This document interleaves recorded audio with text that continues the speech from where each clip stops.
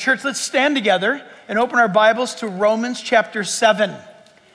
Romans 7. It's only taken us about a year and a half to get here, but we're on the move now. Just basically a little bit halfway through the book. And uh, now from here on out, things change in a very, very powerful way. Romans chapter 7. I'll read the odd numbered verses. If you'll read together on the screen, the even numbered verses, uh, we'll go to verse 6 today. Or do you not know, brethren, for I speak to those who know the law? That's the Jewish believers. Those are the Jews who came to know Jesus as Messiah, who lived there in Italy, specifically Rome. That the law has dominion over a man as long as he lives.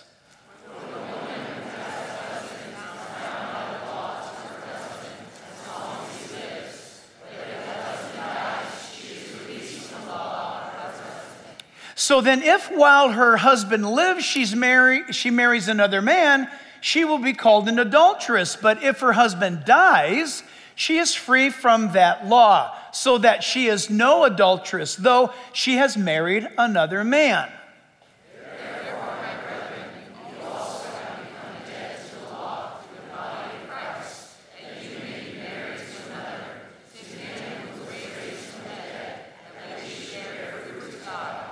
For when we were in the flesh, the sinful passions which were aroused by the law were at work in our members to bear fruit to death.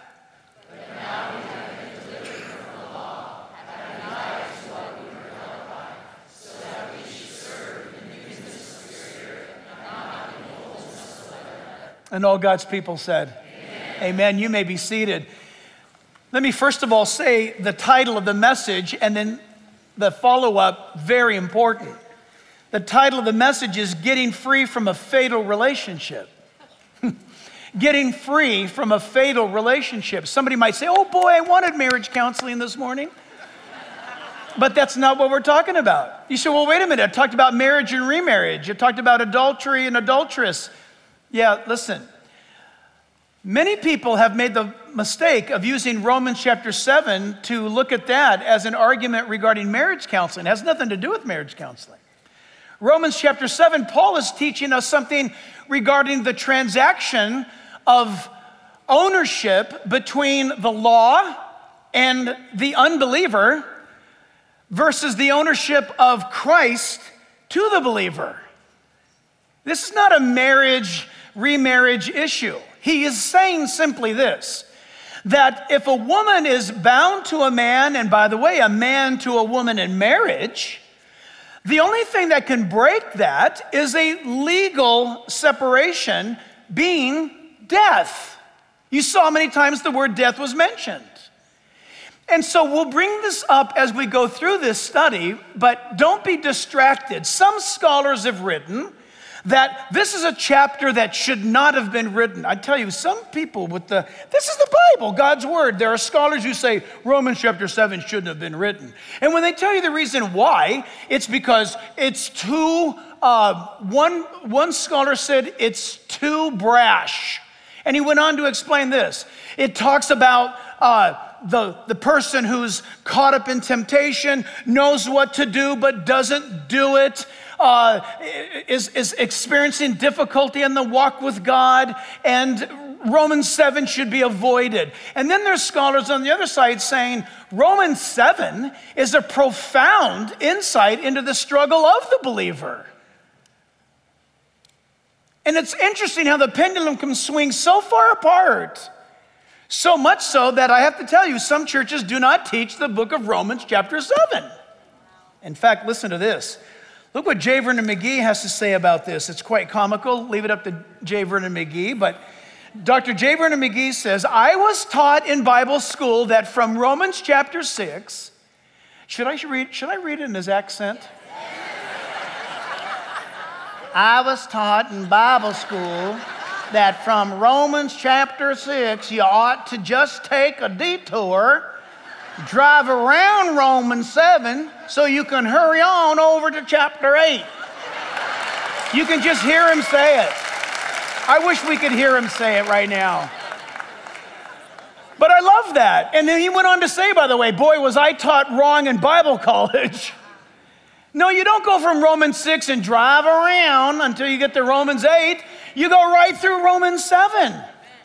God's word is not something that we pick and choose what we study and what we don't study. This is the eternal word of God. And it's there for a purpose. And it is beautiful and clear for the purpose. So, in this, we're going to be looking at for a good portion of these chapters, leading chapter uh, 7 and chapter 8, talking about sanctification. There'll be elements of justification and sanctification.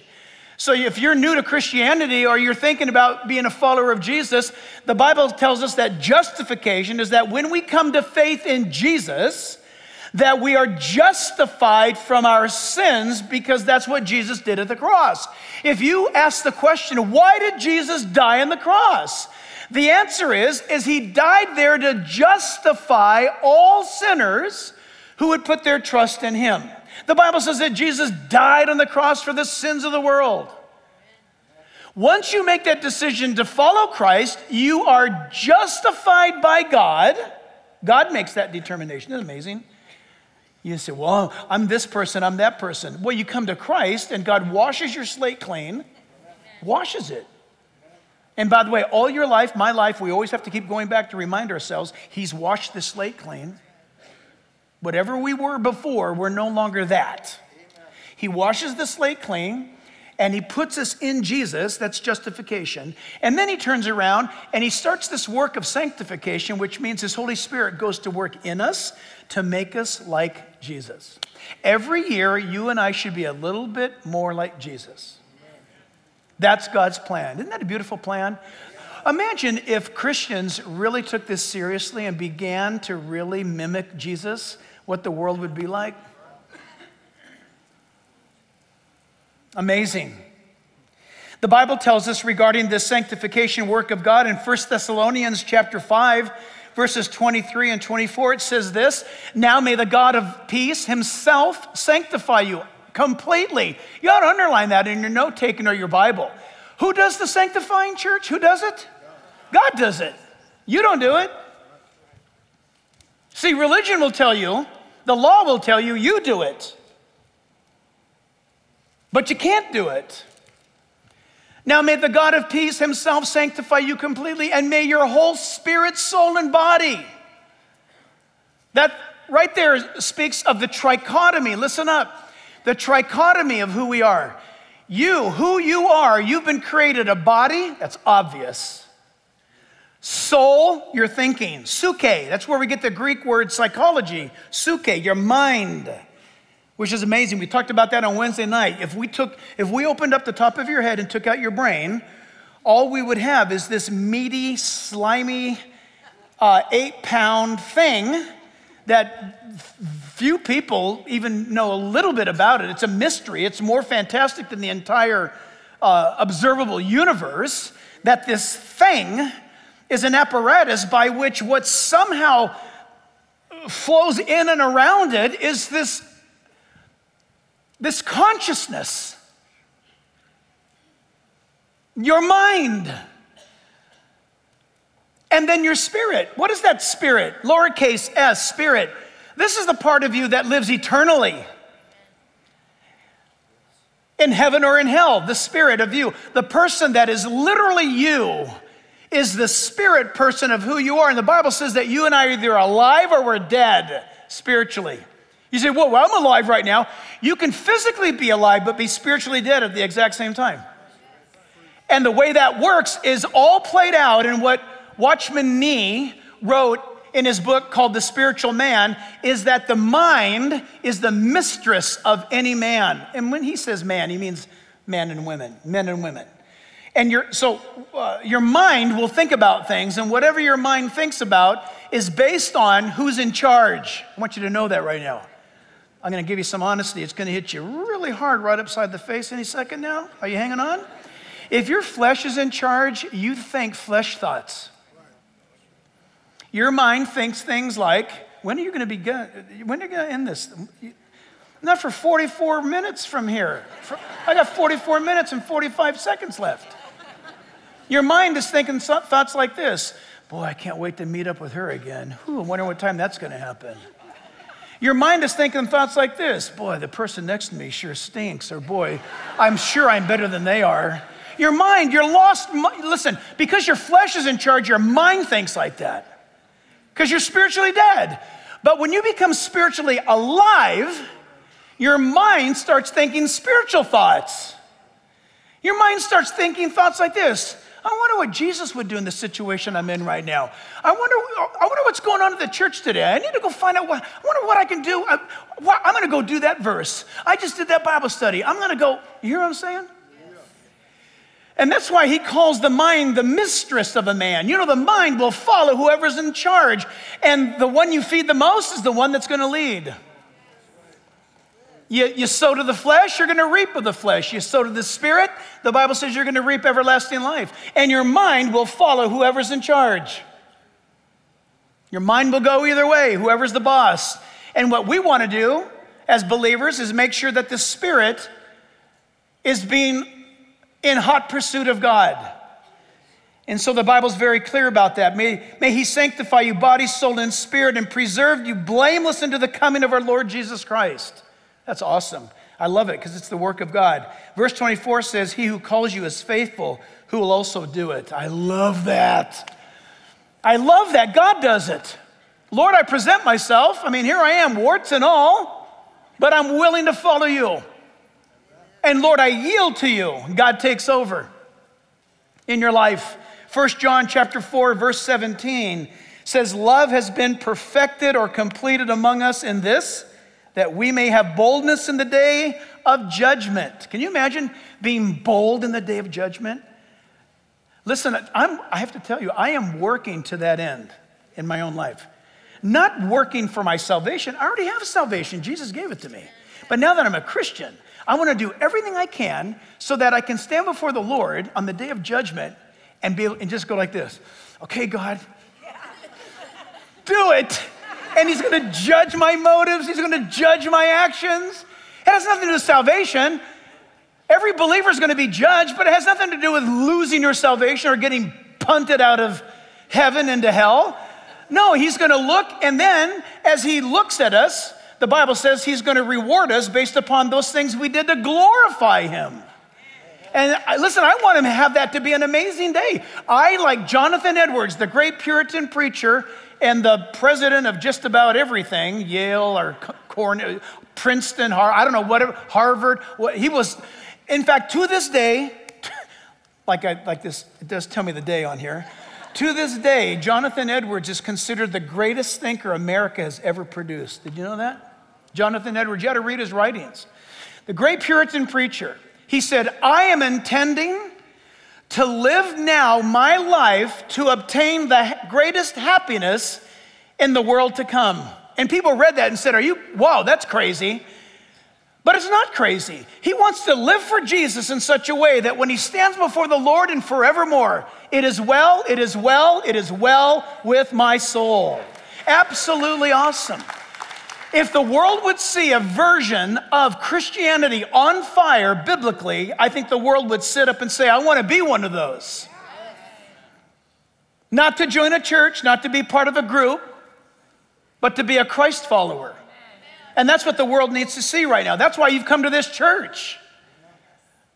And I know that's true because we have no membership. Did you know that? Are you visiting? Well, I've decided to be a member. Just keep showing up then. Well, where do I where do I sign? Nowhere. Well, do I have to go to a club meeting? Do I have to go? No. Just decide to follow Jesus. And uh, let's bring as many men and women and boys and girls with us into the kingdom of heaven. The Bible tells us in Galatians chapter 4, verse 19, My little children, for whom I labor again until Christ is formed in you. That's the life of the believer we are to be walking, breathing images of the Lord Jesus Christ. That's our goal. That's our goal. You think about people right now, so uh, this is Sunday. There's a lot of football games going on in America right now. Um, you see police officers, military, they wear their. Now, as I mentioned the other day, military and, and uh, police officers, they wear uniforms. But uh, a lot of football going on. They're, they are not wearing uniforms. You know that? I know they try to say that. Well, um, oh, look at their uniforms. Okay.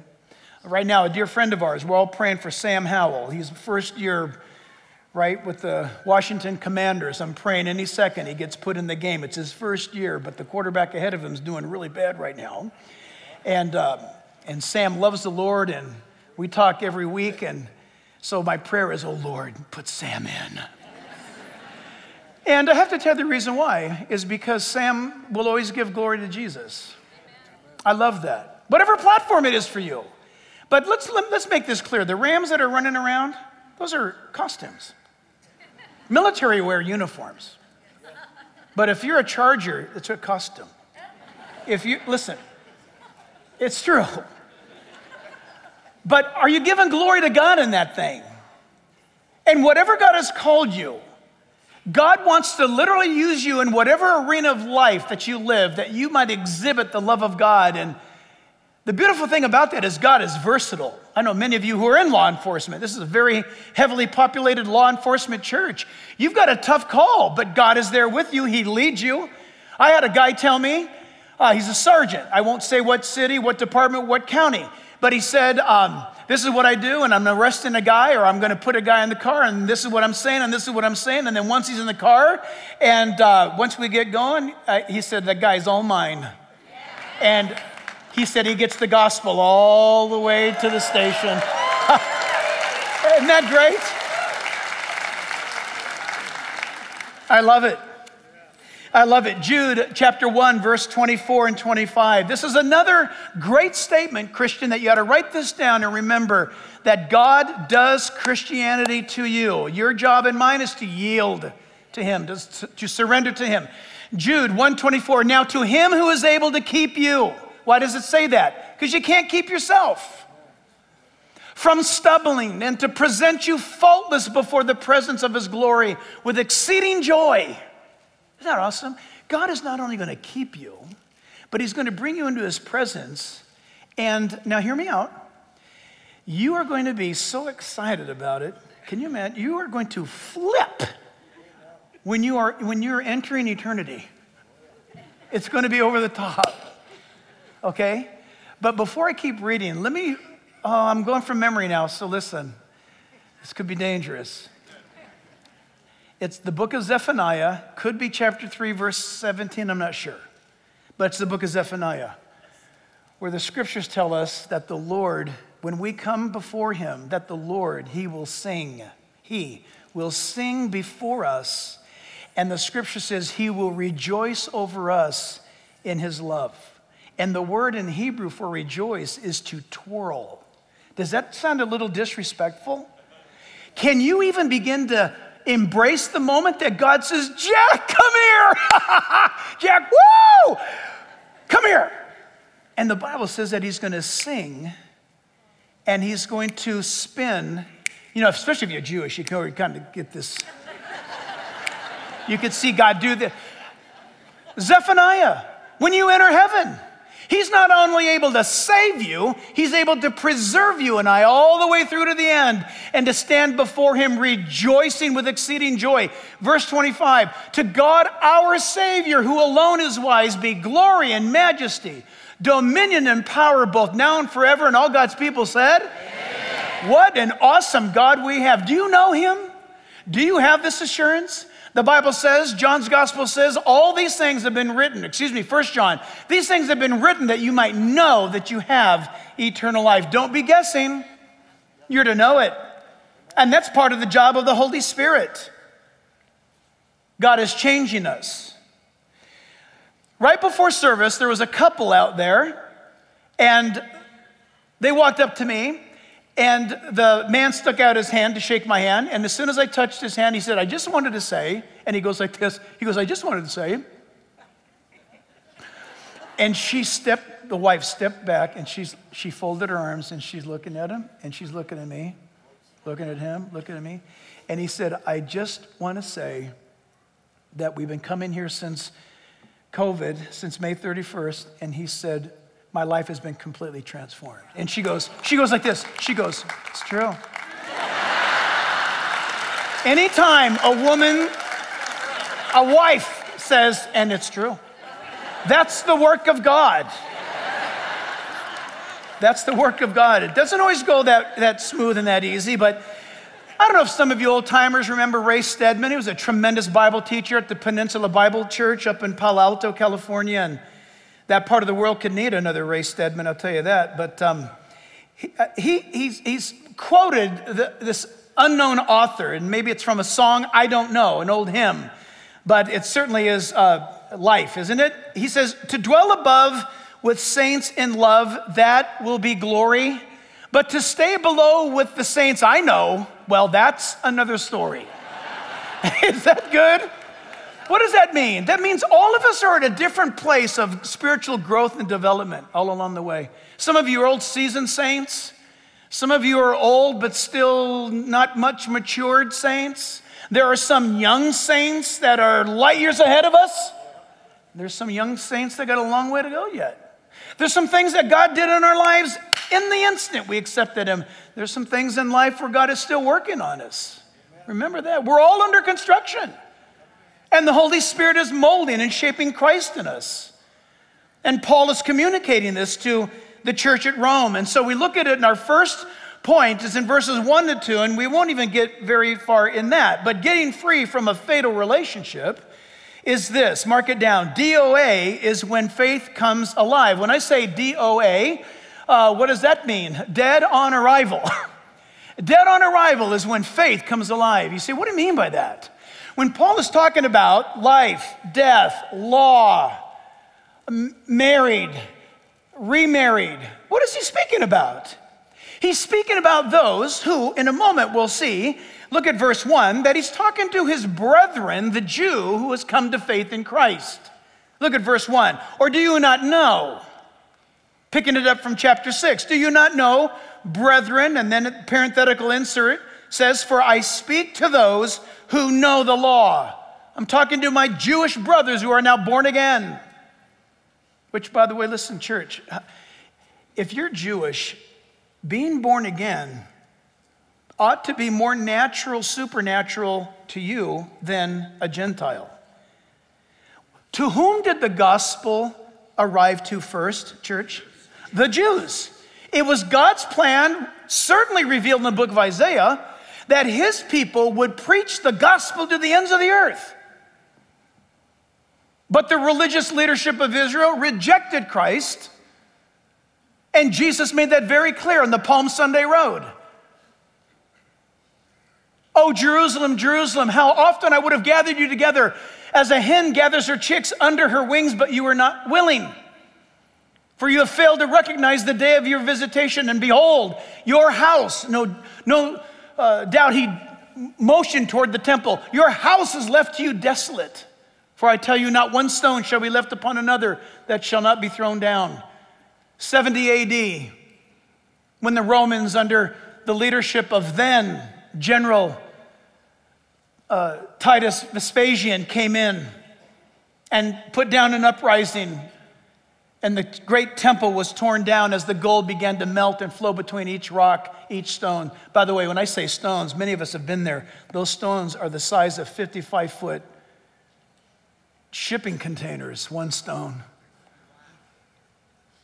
And Rome ordered the gold to be taken out from all the cracks, fulfilling the very prophecy of Jesus Christ himself.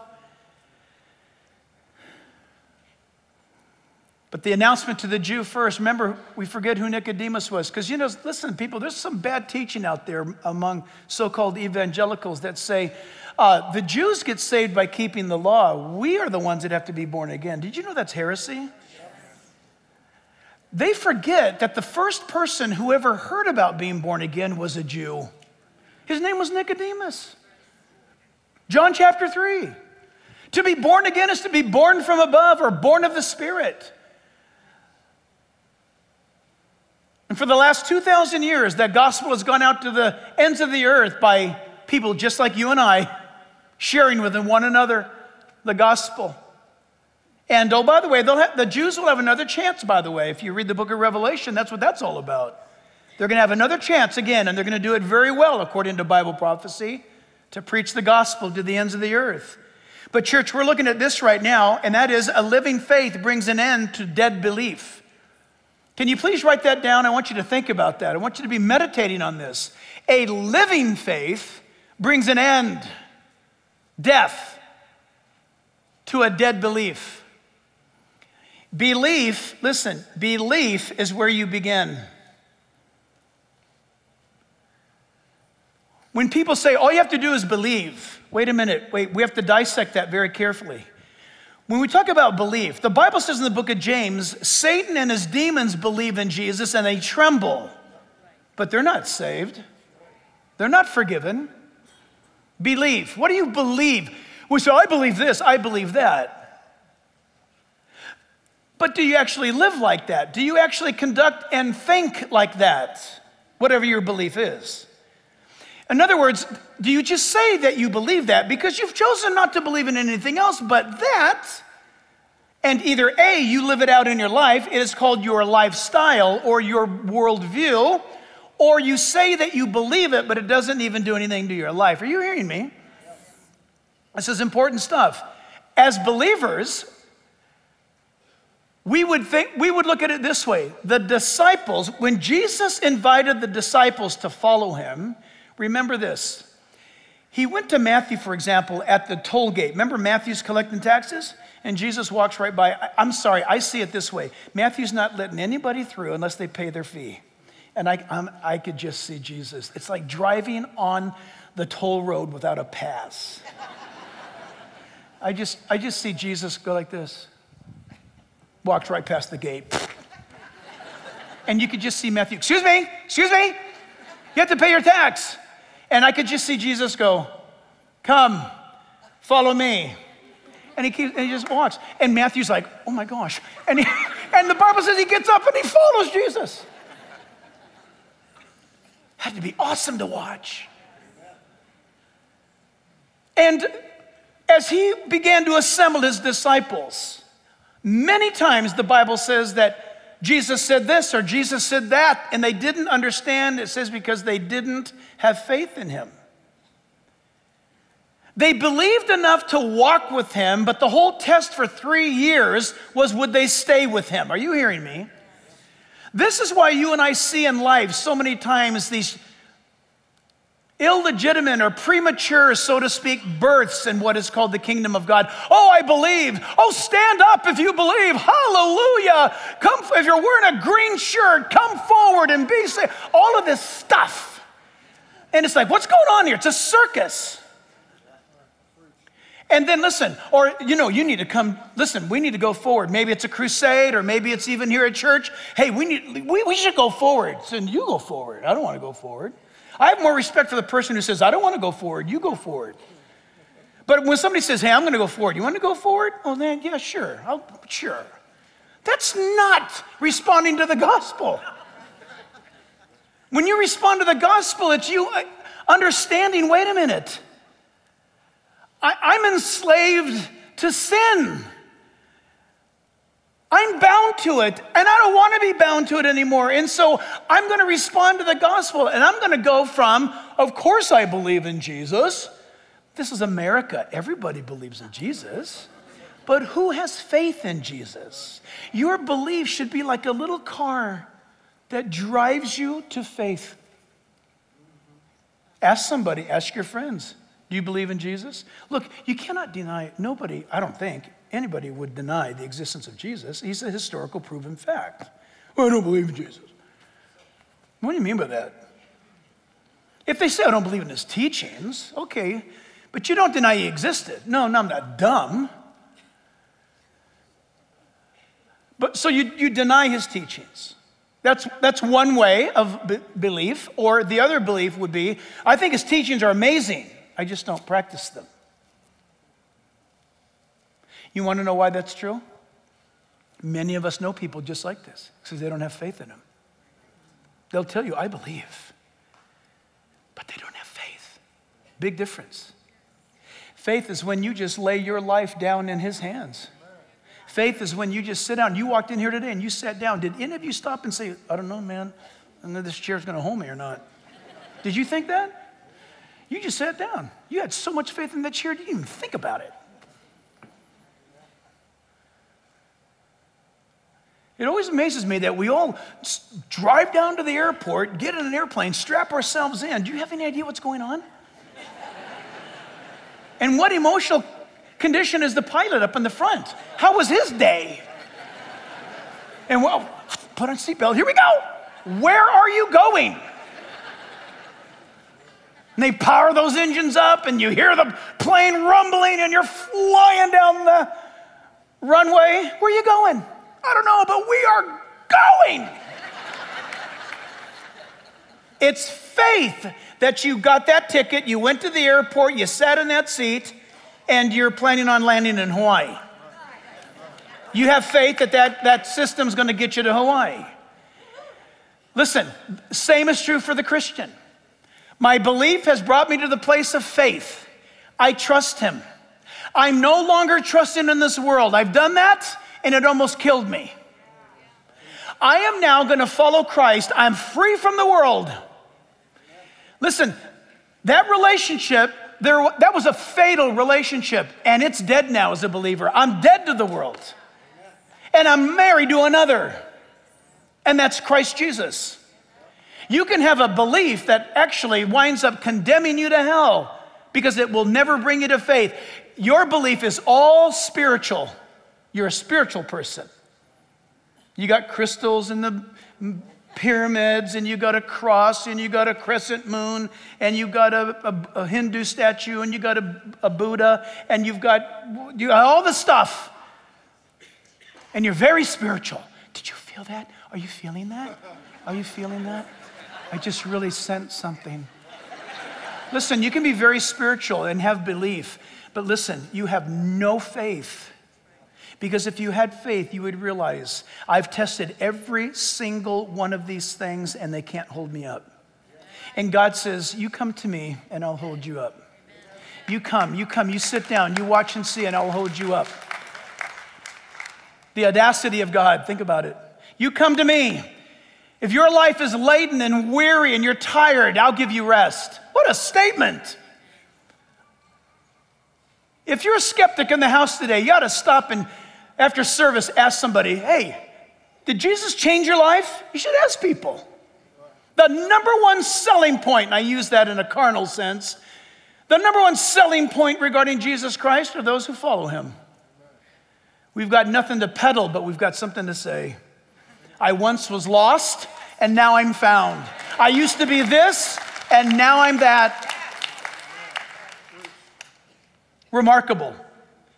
A living faith brings an end to dead belief because God is not inviting you to experience religion. He wants a relationship with you. In the book of James, chapter 2, hang on now, book of James. James is, whenever you go to James, you better put on your seatbelt. James chapter 2, verse 10 says, For whoever shall keep the whole law and yet stumble in one point, he is guilty of all. Did you know that? That's what the law teaches. You know the Ten Commandments? They're written in stone, you know. You'll never hear the Ten Commandments say anything to you. The Ten Commandments are like this. So I'm not feeling very good today. My life's falling apart. I need mercy. I need grace. Ten Commandments has no feelings. Ten Commandments just says, uh, God's holy and you're not. God is righteous and you're not. The commandments are awesome, they're perfect. I was on the 14th floor of a Russian flat in St. Petersburg, Russia, and I had a translator with me, and I was talking to a man at his table in his flat, and he was trying to convince me that he didn't need Jesus. And he was very proud of himself, very moral man. And yet, uh, I hope things are different in Russia now, but to drink the water, you had to boil the water. Water out of the tap would actually make you sick. The, the smell of it, and at the top of it, you could see the purple swirling of oil and stuff. And you scrape that off and you boil the water. Well, we had bottled water. I was sharing, and we had our cups, our glasses there, crystal clear. And I said, you know, the Bible tells us that if we break one law of the Ten Commandments, we're guilty of them all. And he said, I'm good. And I said, you know, the Bible says this that if you've if you've committed adultery, you're, you've broke the Ten Commandments. He goes, I've never committed adultery. I go, well, let me be more specific. Jesus said, if you've looked at a woman with lust in your eyes for her, you've committed adultery. And he goes, well, who hasn't done that? And I said, that's exactly my point. I said, if, if you're going up the wall and you're pulling yourself up on, on, on a chain, how many of those links that are ahead of you have to break before you fall? Only one. And if you break one, James says you're guilty of them all. You got to understand, if you break one, the rest of them doesn't matter because you're falling. And so I told him, I said, listen, if I had right now in this dropper, if I had right now, if I could drop three drops of cyanide liquid into your cup right now, would you drink it? He goes, no way. Actually, he said, niet. and I said, how about just two drops? Two drops, 16 ounces of water, two drops of cyanide. Come on, it's clear, can't smell it, can't taste it. It's. He goes, nope. I said, How about if I put one drop of poison in your cup of water? Would you drink it? And he goes, Never. I go, Why? He goes, Because it'll kill me. And I said, Listen, those are your words. Jesus said, You had the thought and you're guilty. Does God say this to us because he hates us? No. He says this to us because he loves us. Because God sees you on the inside. God hears you. God knows you from the inside out. And so James 2:11 says, "For he who said do not commit adultery also said do not murder." Now, if you do not commit adultery but you do murder, you have become a transgressor of the law. Isn't that an interesting statement? So I've never murdered anybody. Have you ever hated anybody? So I don't know if I, I mean, hate, that's a pretty big word. Well, have you ever destroyed someone's reputation? Then you've murdered them. They're fine. No, God says you murdered them. We're guilty. The chain broke. Now, listen, I'm going somewhere with this. You want to get free from a fatal relationship, friends, because the law looks at you and says, Nope, you thought it, you're out. Remember, the law is stone, it has no heart, it has, it has no ears. So Galatians 2:16 says, knowing that a man is not justified by the works of the law, but by faith in Jesus Christ. Even we have believed in Christ Jesus that we might be justified by faith in Christ. Notice the diagnosis or the prognosis of this justified by faith in Christ and not by the works of the law. For by the works of the law, no flesh shall be justified. You can't be good enough to get into heaven. I can tell you this the only way to qualify to get to heaven is that you have to be a sinner. I'll explain this more in a moment. In 1 Timothy chapter 1, it begins at verse 8. But we know that the law is good if one uses it lawfully. Knowing this, that the law is not made, I should stop myself right now. Er, is everybody awake? Yes. Take a deep breath. Okay. Exhale, but don't breathe on anybody. You need it. This is dead serious. Watch this. Pay close attention. But we know that the law is good if one uses it lawfully. Knowing this, that the law is not made for a righteous person. Stop right there. This is a test. Watch out.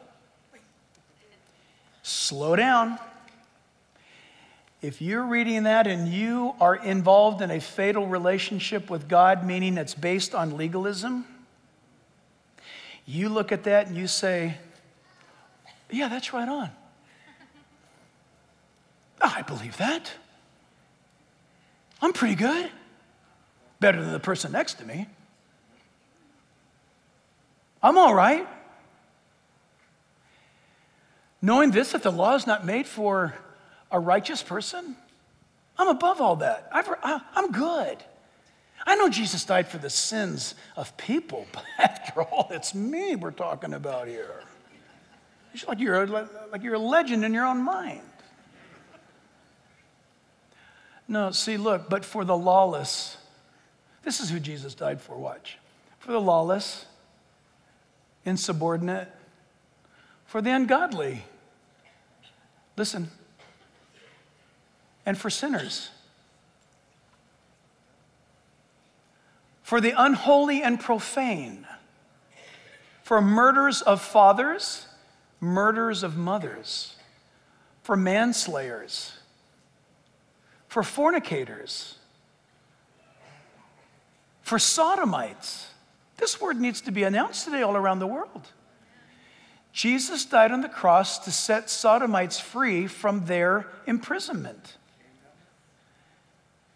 But listen, kidnappers, human traffickers, for liars. He died for perjurers. Oh, and then he throws this in. And if there's any other thing that is contrary to sound doctrine, do you read this right? Are you seeing this clearly? The last person you want to be on this screen is the person where it says, But we know that the law is good if one uses it lawfully, knowing this, that the law is not made for a righteous person. A righteous person is who Jesus addressed when he came and he said, Don't think I've come for the healthy, I've come for those that are sick. Do you remember him saying that? You don't want to be self righteous in your own opinion and your own legalism. You don't want to be caught declaring yourself not in need of Jesus' sacrifice at the cross. This is, he's laying it out. The whole argument is this that every sodomite, fornicator, manslayer, human trafficker, the ungodly, the sinners, the lawless, the insubordinate, all of us would say, Save me, Jesus, save me.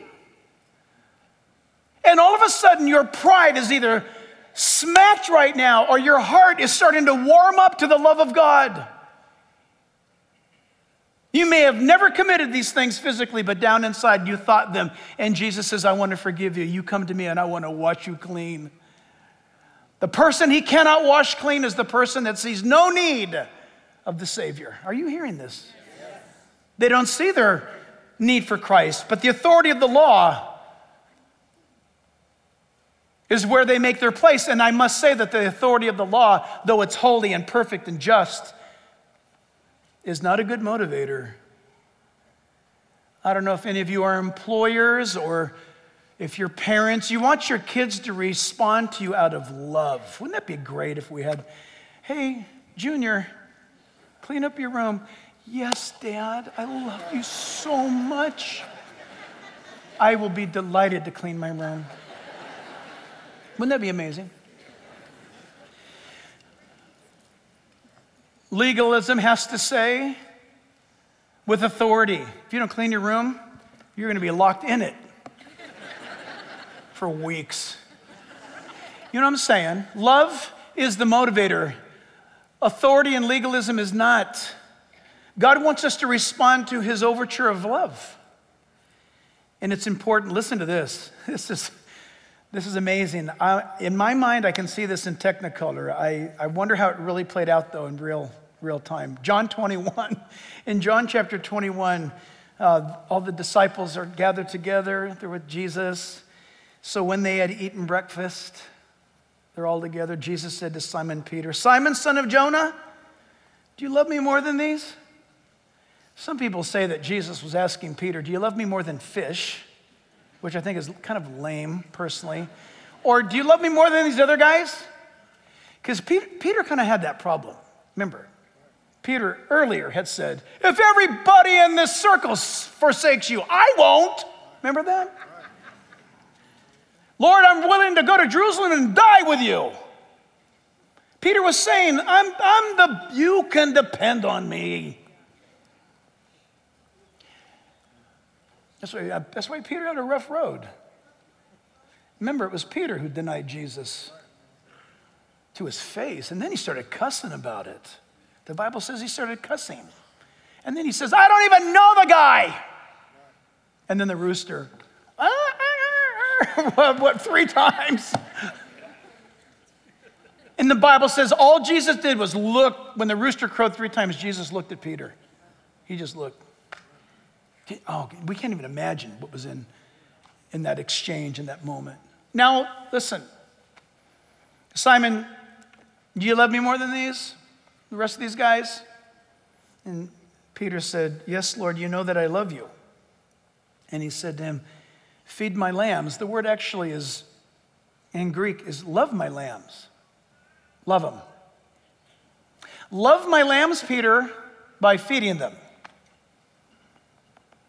And he said to him again a second time, Simon, son of Jonah, do you love me? And he said to him, Yes, Lord, you know that I love you.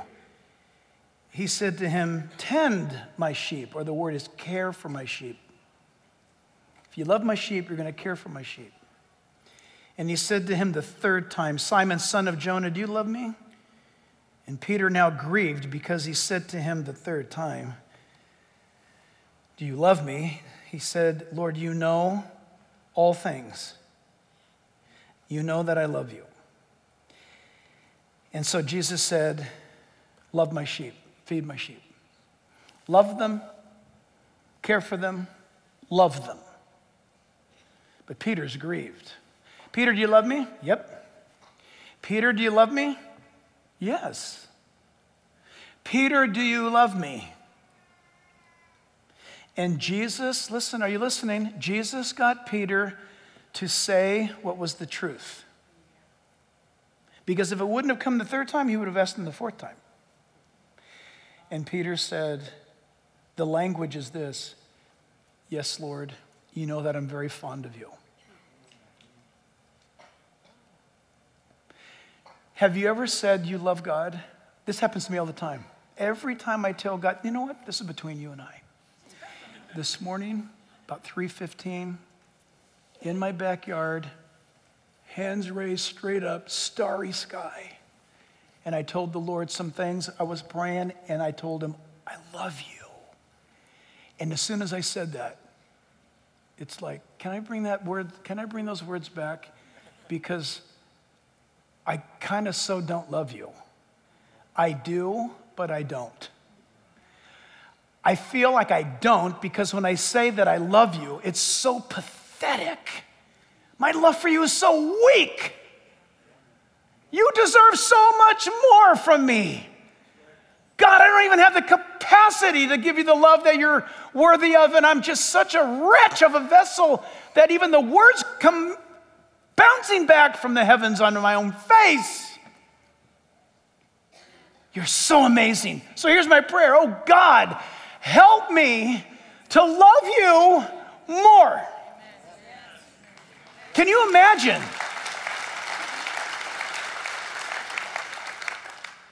Love. The beautiful thing about this is Peter must have learned his lesson because way later on in life, Peter wrote in his epistle, 1 Peter 4 8, above all things, have fervent love one for another. Why? For love will cover a multitude of sins.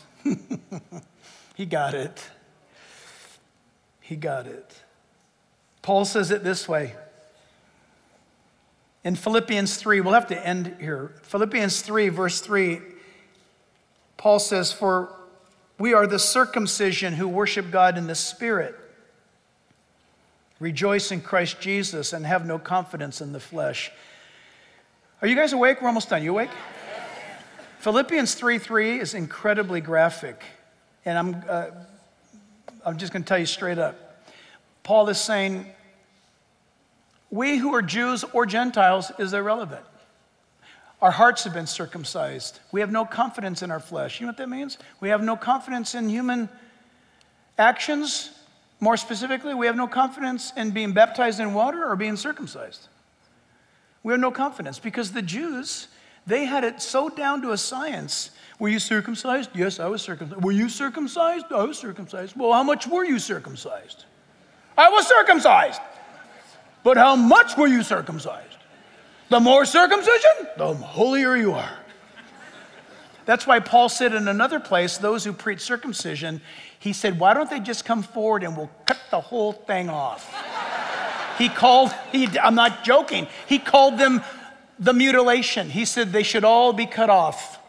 If that's how they're going to judge themselves, you want to be holy, do you? Well, then let's just do the whole thing. and after all that suffering, you're no holier. Wow. Well, you know what? We laugh at that, but God, I gave 20 bucks this week. Come on, bless me. I got a flat tire in the parking lot. I just gave you 50 bucks. You're, listen, you don't know what you're even doing. Verse 4, Philippians 3 though I, I also might have confidence in the flesh, if anyone else thinks he may have confidence in the flesh, I more so. It's so cute. Paul said, You want to talk about flesh? All right, let's go for it. You could just see this awesome spiritual man in his old age and all these guys talking about how righteous they are. And Paul says, All right, just put a sock in it. Move over. You want to talk about, you want to talk about being bound to the law? You want to talk about doing it your way? Rolling up your sleeves and being holy, are you? All right. And, and in my mind, I see these, these Jews at like a saloon with the. I'm to show you a thing or two. And listen to him. Verse 5 circumcised the eighth day. You can just see Paul. Were you Jews circumcised the eighth day? I was. Of the stock of Israel. Can you say that? Of the tribe of Benjamin. A Hebrew of the Hebrews. Concerning the law, a Pharisee. Wow, that means Paul was previously married, by the way. To be a Pharisee, you had to be married. A Pharisee, that means his life was dedicated to the study of the word. Concerning zeal, persecuting the church. Paul was like the ISIS of the day. He went around hunting Christians down and having them killed. Concerning the righteousness which is of the law, blameless. But what things were gained to me, these I've counted lost for Christ. Wow. Yet indeed, I also count all things less uh, loss for the excellence of the knowledge of Christ Jesus my Lord, for whom I suffer the loss of all things and count them as rubbish. The word is actually manure for rubbish. That I may gain Christ and be found in him. Here it comes, not having my own righteousness from uh, uh which is from the law, but that which is through faith in Christ, the righteousness which is from God by faith, that I may know him and the power of his resurrection and the fellowship of his sufferings, being conformed to his death. Dead on arrival is a belief system that has no faith in God. And it's possible that you're in this crowd right here, right now, and that you have been going to church maybe all your life, or maybe you stumbled in here today and you say, Well, I believe in God, but you have no experience of the Holy Spirit with incredible bonds of love. I don't know how to explain it. God, listen, like Paul was speaking, are, who are you married to? Are you married to the law? Are you married to Christ? If one dies, then you're free to marry the other. If the law is dead, it's because it's been fulfilled in Jesus. The option is what will you choose? Will you choose to hook yourself up to a law or the law, or will you choose to hook yourself up to Christ Jesus, who is liberty? So, who are you married to? Well, I believe. Not enough. Your belief must take you to faith. And that faith is where you throw yourself down at all that He's done for you. We're going to pray right now. You know what? Some of you need to make this decision. You have played long enough religion, you're done.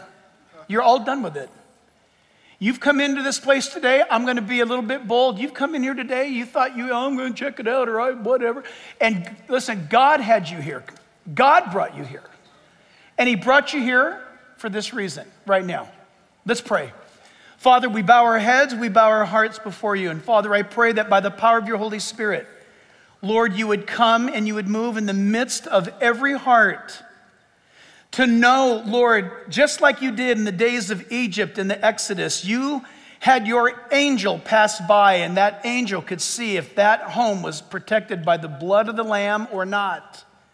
And you know, everybody in the sanctuary who are protected by the blood of the Lamb or not. And Father, I pray that you would arrest those today whom you love. And up until now, they think they have evaded you. Up until now, they think that they have somehow eluded you. And I ask you, Holy Spirit, that you'd move upon their hearts right now and capture them. May the love of God capture them now. That God loved you, my friends, so much that Jesus died on the cross for your sins because you cannot ever pay God back. You may owe that credit card company a dollar or two, or you may owe that mortgage company a dollar or two. But, friends, you can never pay God back for what He did for you at the cross, except one thing He requires of you, and that is to come and to receive and to acknowledge what He's done for you. That's what He wants from you, you personally today, you. Now, listen. In a moment, some of you listen carefully.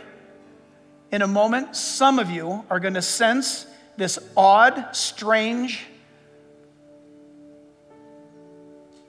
stirring in your heart, in your chest. Some of you are going to start to feel like you're the only one in the room. I want you to know now in advance that's the Holy Spirit speaking to you. And I want to warn you right now, He's going to talk to you in your voice, but He's going to use words you've never heard before. You listen for Him. And if He's speaking to you, you respond to Him. When you're done praying this prayer, I want to tell you right now, at some point today, someone's going to try, even if it's a thought in your head, someone, some thought's going to enter your mind and say, that wasn't for real. Jesus said, when someone accepts him, the enemy will come and try to steal the truth that was put in your heart. Someone's going to say something, or maybe you'll have a thought in your head, and like, what did you do? What was that all about? I'm telling you in advance to pull the mask off the enemy. Are you hearing me? You made this decision today based on your will being changed. You didn't, nobody put a feather up and down your neck and gave you goosebumps to promote you to come forward. You decided to come forward. And you remember that. You decided to follow Christ. It wasn't based on your feelings. You were responding to his call to you. This is between you and God. Are you ready? You ready to pray out loud? Dear Lord Jesus, I give you my life today. I ask you to wash me of my sins based on the cross of Christ because I confess Jesus Christ crucified and Jesus Christ risen from the dead. Today, He is my Lord and Savior, and I want heaven and hell to know. In Jesus' name I pray. Amen. Amen.